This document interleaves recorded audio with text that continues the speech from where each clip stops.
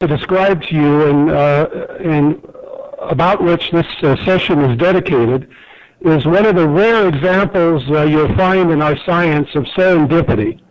And uh, I'll explain more about how the serendipity played a role in the development of the Hurricane Aerosol and Microphysics program. Our focus is uh, in producing scientific results that will lead to improved forecasting of both hurricane track, but especially improved forecasting on hurricane intensity changes.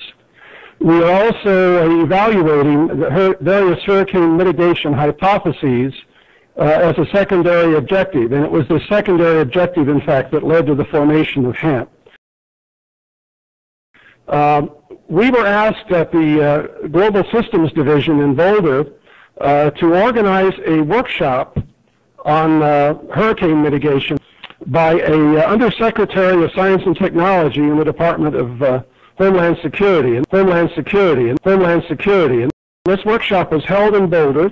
Was sponsored by DHS. It was hosted in Boulder by ESRL uh, just a little over two years ago.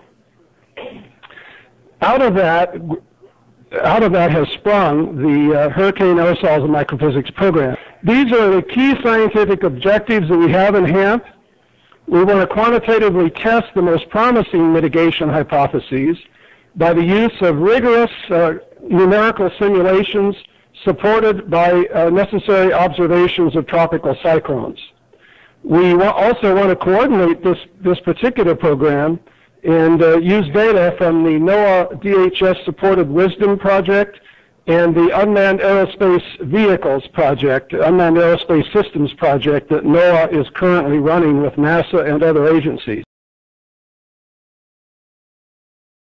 The group feels very strongly, and we think we'll demonstrate in this session, is that not only are aerosols a vital component of atmospheric processes, and they, they play roles in larger scale processes, but they also affect cloud microphysics and dynamics and that aerosols affect the cloud microphysics and dynamics in a very fundamental way, a very important way, uh, that we feel has been neglected uh, in tropical cyclones. I should, should tell you that the HAMP project uh, was initially funded about 15 months ago, but we really didn't get the funding started until just barely a year ago.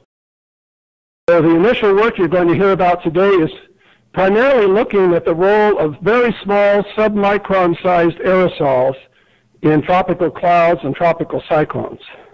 The other hypotheses that we've listed here uh, were, were uh, summarized at the workshop two years ago, and these might be addressed by our modeling and observational work if we go on to phase two in the HAMP project.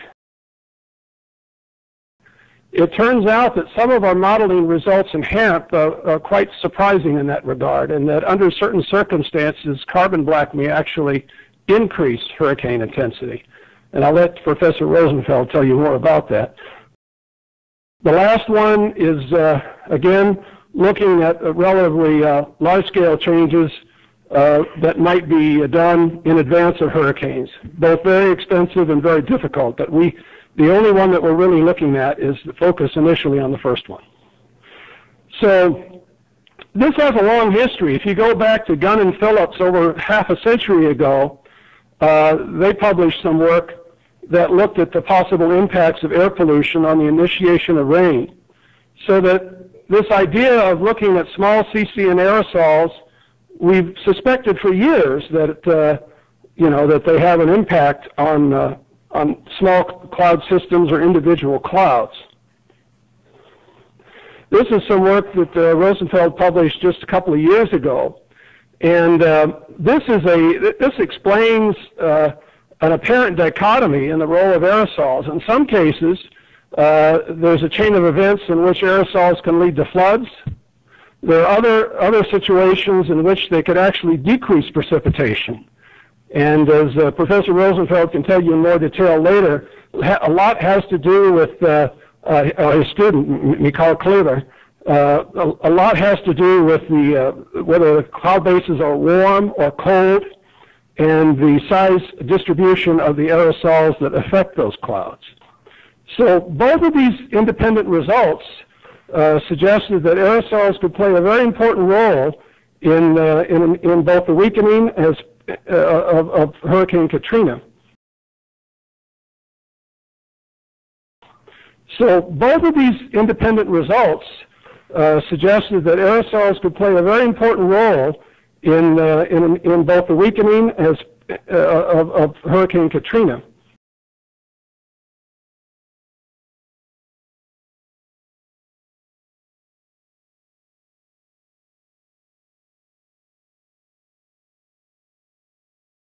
And we hope, we hope in the near future, this summer, uh, hopefully, or next summer, to uh, put some new instrumentation that this project is paid for on one of the NOAA P3s to get data on real Atlantic uh, tropical cyclones.